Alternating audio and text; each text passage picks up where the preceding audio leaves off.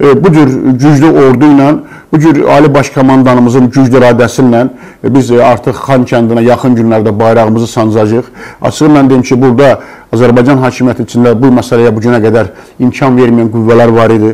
Şəxsən Ramiz Meytiyevin indi açılıbdır. Bizdə çox ciddi məlumatlar var. Dağlıq Qarabağın işğaldan azad edilməsi üçün öz qohumlarının orada qırılmasına imkan verməmək naminə e, Azərbaycan dövlətinin içində imkan verməyib ki, Azərbaycan xalqı ilə prezident birləşsin, öz torpaqlarını işğaldan eləsin, azad eləsin. Artıq bu gün erməni saytları da bu barədə yazır ki, gördünüz bizim oradakı qohumumuz Ramiz Metiyev, onlar Raçik deyirlər. Raçik oradan çıxandan sonra artıq bizim başımıza nə hadisələr gəlir. Bunu erməni saytları yazıbdır. Bu gün biz ermənicə bilik, erməni saytlarından da düzdür. Bizdə internet onu da haqlı edirlər, bəzi məhdudiyyətlər var.